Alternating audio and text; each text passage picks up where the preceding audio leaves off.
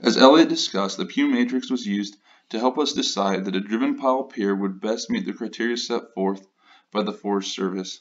To begin the design of the driven pile pier, we used ASCE 716 to calculate the loads that the pier would need to resist. The loads that we looked at was the load due to this heavy winter snow that the pier would receive.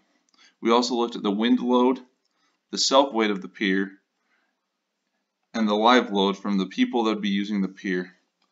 We also referenced material from the Army Corps of Engineers to calculate the lateral ice loads that would be present on the pier when the lake freezes over in the winter. The pier was designed to reach into the lake 140 feet and parallels the shore 100 feet in the shape of a T.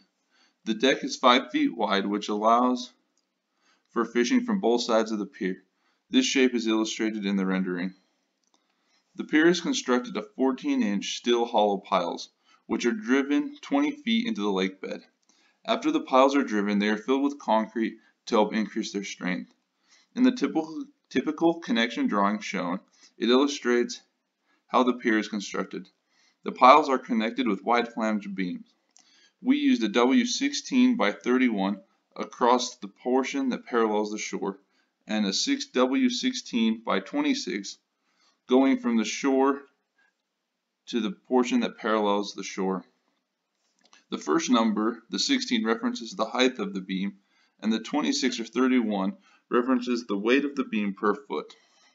We used a larger beam for the portion that parallels the shore as we had some larger spans and needed the increased strength over those distances.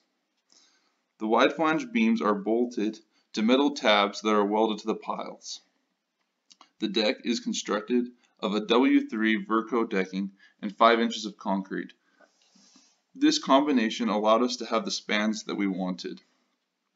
There is a railing that is bolted to the deck that runs the perimeter of the pier that is different heights in different areas to allow everyone, including children and those who may be in a wheelchair, to fish over the railing. The pier is connected to the shore with a reinforced concrete abutment. The concrete abutment has concrete poured over part of it to allow the elevation of the sidewalk to match the elevation of the decking of the pier. Matt will now go on to discuss the design of the parking lot.